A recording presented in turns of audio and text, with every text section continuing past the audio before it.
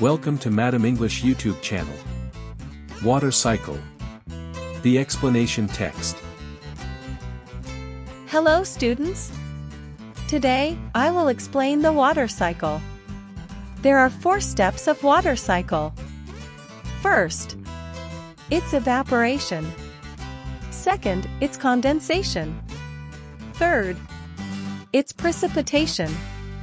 And the last is collection. Evaporation.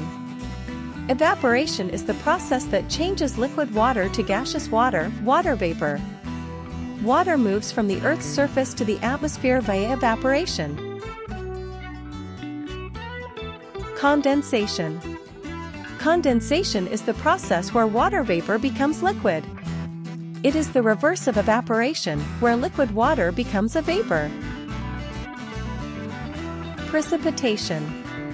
Precipitation is any liquid or frozen water that forms in the atmosphere and falls back to the earth. The last is collection. Collection refers to the process by which water gathers back into bodies of water such as rivers, lakes and oceans. That's all about the explanation of water cycle. Don't forget to like, comment and subscribe Madam English YouTube channel. Thank you!